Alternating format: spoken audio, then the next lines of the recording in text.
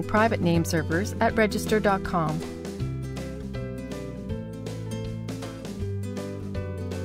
This demo assumes you have a domain name registered through register.com and starts from their homepage. Now let's learn how to create, register private name servers or custom name servers.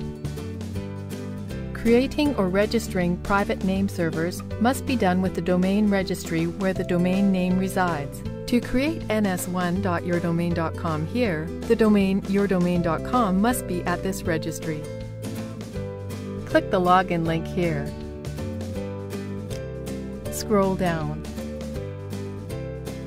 Enter your register.com username and password in the boxes here.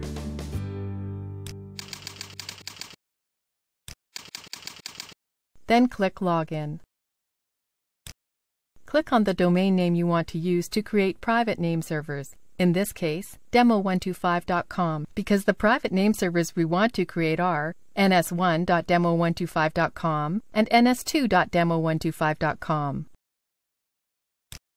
Then click Manage Registered Name Servers here at the bottom of the page. Scroll down. Enter the new name server name in this box and the new name server's associated IP address in this box. When ready, click the Continue button to have the new name server created.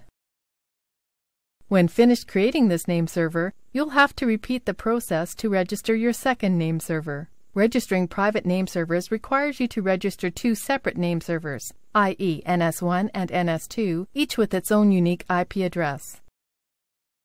Remember that after you submit your new name servers and IP addresses to the registry, it can take 24 to 48 hours for the new name servers to propagate after you make these DNS changes, just like for new domain name registrations. This is the end of the tutorial. You now know how to register new private name servers. Remember that the domain name for which you want name servers created must reside in this registry. Thank you for watching our tutorial. Be sure to let us know if you have any questions.